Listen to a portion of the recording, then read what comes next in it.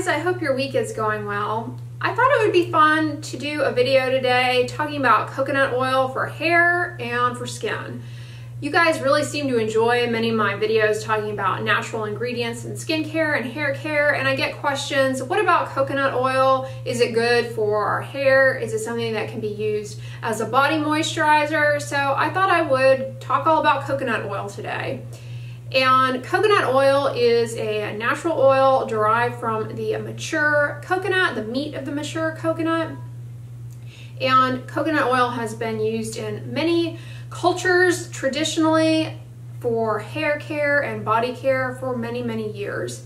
And commercially, you will find coconut oil and coconut oil derivatives in a lot of body moisturizers, cleansers, shampoos, and conditioners.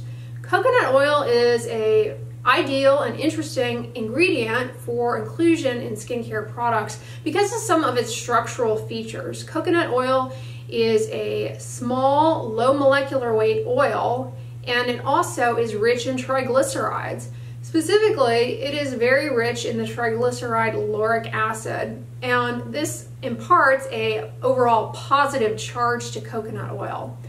It is the positive charge along with the small size of coconut oil that makes it uniquely suited for inclusion in skincare and hair care.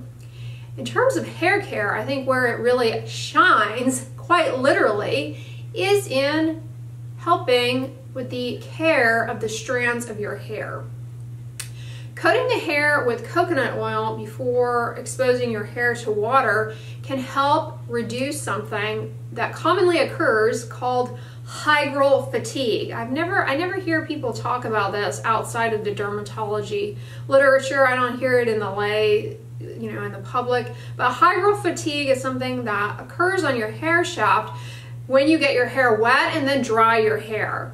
It occurs to a greater degree if you wet the hair and then subsequently heat, uh, blow dry it, dry it with a, with a hot blow dryer. And what it is is that the um, hair cuticle uh, gets saturated with the water and uh, then that water is then removed very quickly when you either towel dry or blow dry the hair and that can ruffle the outer hair cuticle and make the hair shaft more susceptible to breakage.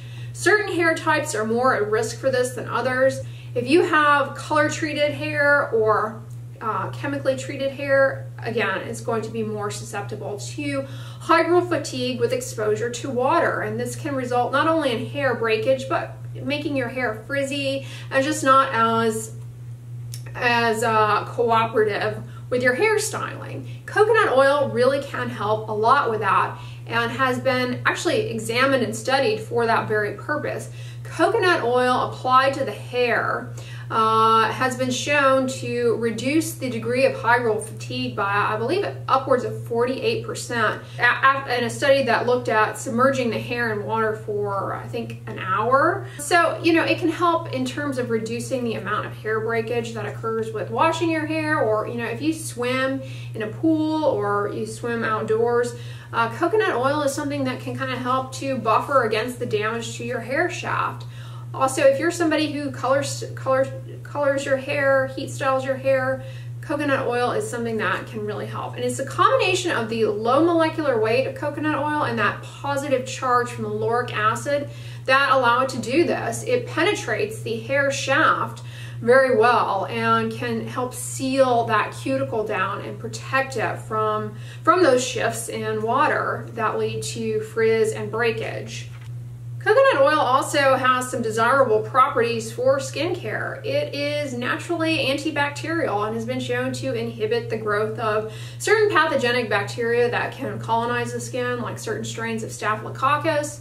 And it does also have a little bit of antifungal activity and can potentially inhibit the growth of the types of fungus that cause things like Ringworm, athlete's foot, uh, it has been examined in comparison to mineral oil uh, and has been shown to be equally, as, equally as effective as mineral oil and in some studies superior to mineral oil for use as a body moisturizer uh, in comparison to plain mineral oil. And probably some of the studies showing it's superior. Maybe that has to do with the fact that coconut oil unlike mineral oil has some antibacterial properties so if you'll recall back to my video on nummular eczema or um, discoid dermatitis as it's also called, um, I mentioned how important body moisturizer use is. And coconut oil is an option as an emollient um, it's not fantastic at decreasing transepidermal water loss and really keeping the skin hydrated, but it can definitely soften the skin and, and works just as well as mineral oil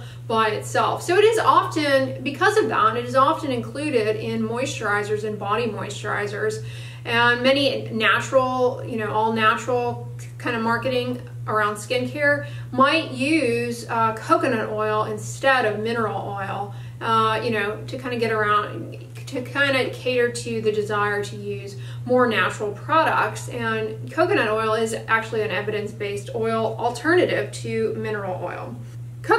Oil is actually pretty safe and low irritancy and does not appear to be sensitizing. A 2017 Cosmetic Ingredient Review expert panel concluded that coconut oil is non-toxic, it is not irritating, it's not sensitizing, and does not appear to be a risk factor for leading to sensitization and the development of allergic contact dermatitis. While coconut oil itself is an unlikely allergen when applied to the skin, there are many derivatives of coconut oil that are used in personal care products, cosmetics, and people can and frequently do become irritated by and or sensitized and subsequently allergic to these derivatives of coconut oil.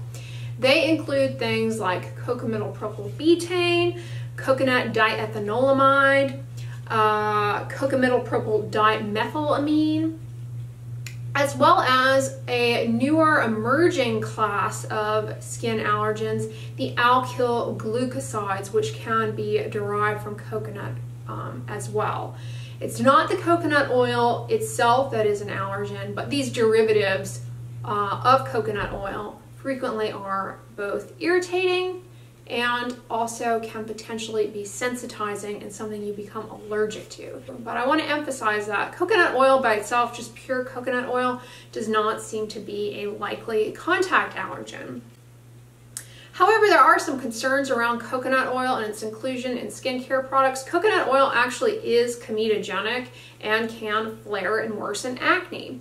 So while it has been shown to be a good choice as a body moisturizer for children in particular with eczema, consideration for people who would like a more natural alternative to typical moisturizers that are recommended, coconut oil is not a great choice if you have acne. If you have body acne or facial acne, I would not encourage you to use coconut oil in those areas. It can be comedogenic. And the reason for this is that it can be just either too heavy or penetrate around the pore in combination with your oils in your in your sebum uh, the combination of that and the coconut oil can lead to an irritation around the pore that can trigger an acne-like flare. So coconut oil is something that is advised you avoid if you have acne. Also, if you have any kind of skin condition uh, due to malassezia or pityrosporum yeast on the body. And that can be made worse by coconut oil because this little yeast loves oil and thrives in oil, actually requires oil to, to grow. And therefore, you see these rashes in areas of the body that have more, more oil glands and are oilier. So you can develop a rash on the body. Also, fungal acne is related to malassezia. Coconut oil would not be a good choice as a moisturizer or even makeup remover for you.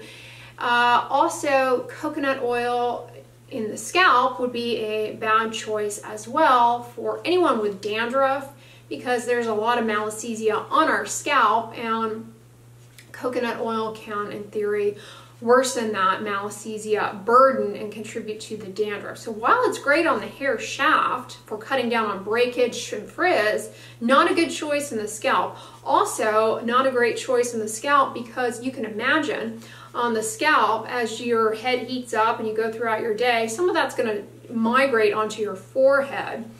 And because it is comedogenic, um, it can cause theoretically an acne-like breakout or what's called closed comedones on the forehead.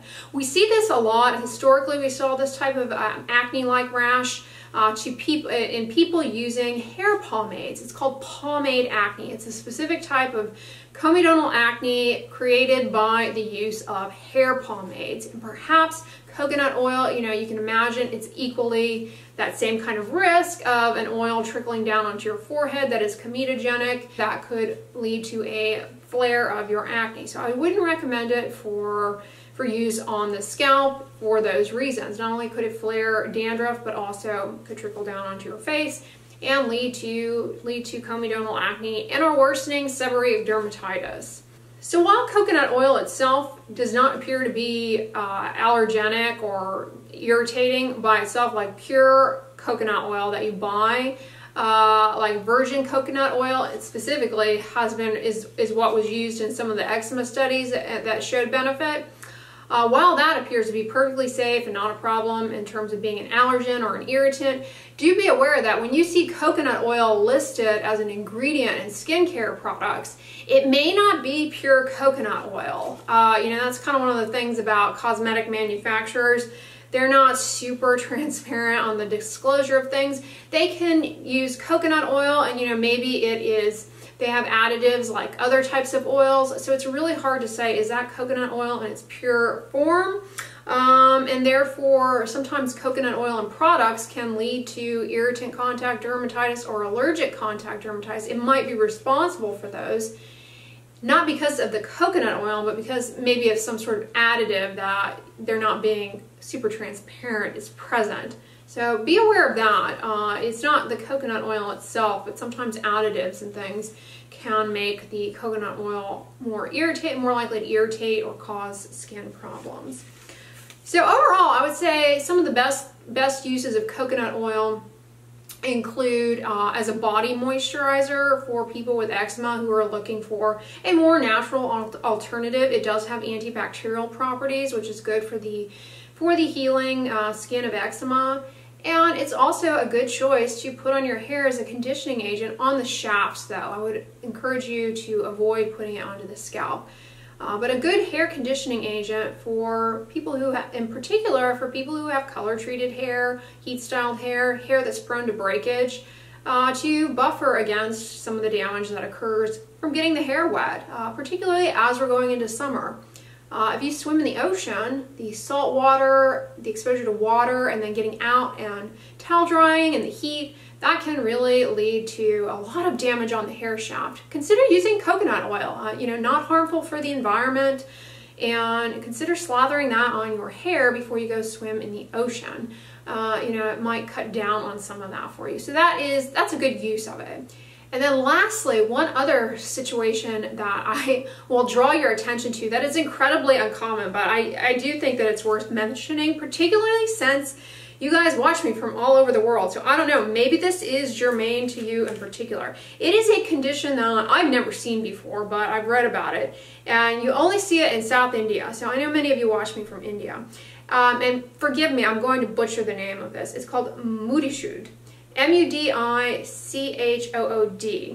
Literally means heat of the hair. This is something that is seen in southern India where there is um, kind of a, a um, desire to have, many young women like to have long, healthy hair, and that's like very desired. And one of the things that is common or commonly practiced in that area of the world in particular is cutting the hair with oil.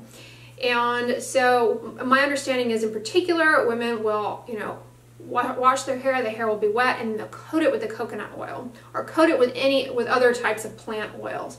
There's this unusual uh, skin re reaction called Mudichood that can happen. It is only seen here. Uh, where it's a combination of the oils on the hair and then they have a very long hair that then sits on their back and the back of their neck Uh, so that wet hair with the oil sitting on the skin in, in combination with the heat of southern India, it's very hot there, uh, leads to this rash called Mudichood or heat of the hair. And it starts out as little kind of pus bumps that are acne-like that then heal as discolored flat top bumps.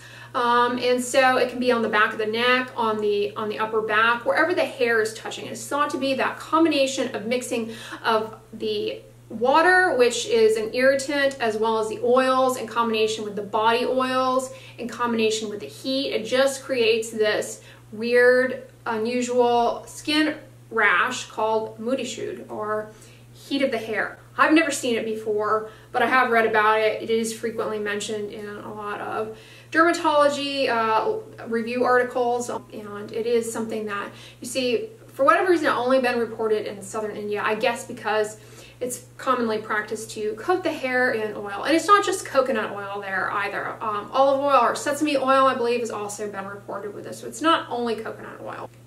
But you all comment below on how you use coconut oil in your skincare or hair care. I know many of you like using it. Uh, personally, I've tried using it to remove my sunscreen. Uh, and it works well do, to do that, uh, particularly on the body. I uh, don't have great success using it on my face uh, just because it's a little hard to apply and kind of messy. So I don't use it on a regular basis. But if you have a really heavy layer of water resistant like zinc based sunscreen that you're using when you're outdoors this summer and you want to remove it when you get inside before you hop in the shower, slathering your body in coconut oil before you get into the shower is one way to help facilitate removing that. Um, I also don't use it on my face because like I said it is comedogenic um, but I mostly don't use it on my face because I find it a little a little messy and hard to work with as opposed to just plain mineral oil or or some of the cleanse the Hada Labo cleansing oil that I typically use but I know it is popular as a makeup remover as an eye makeup remover so comment below those of you who use it how you use it but I hope this video is helpful to you guys in sharing with you some of the benefits um, potential risks of using coconut oil uh, if you liked it, give it a thumbs up, share it with your friends, and as always, don't forget, sunscreen and subscribe. I'll talk to you guys tomorrow. Bye.